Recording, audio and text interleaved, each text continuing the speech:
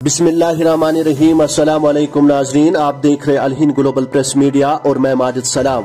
वादी में बारिशों का सिलसिला जारी, मामलाती मुतासर ठप। सड़कें गली कोचे जेर आब, श्रीनगर जम्मू शहरा बाड़ी गुरेज और करना कुपवाड़ा रोड बंद। वहीं दूसरी तरफ़ से रामबन में पसिया गिराने की वजह से कौमी शहरा को आज ट्रैफ़िक की आमरफ्त के लिए बंद रखा गया। न्यूज़ डेस्क के लिए माजिद सलाम की एक खसूसी रिपोर्ट।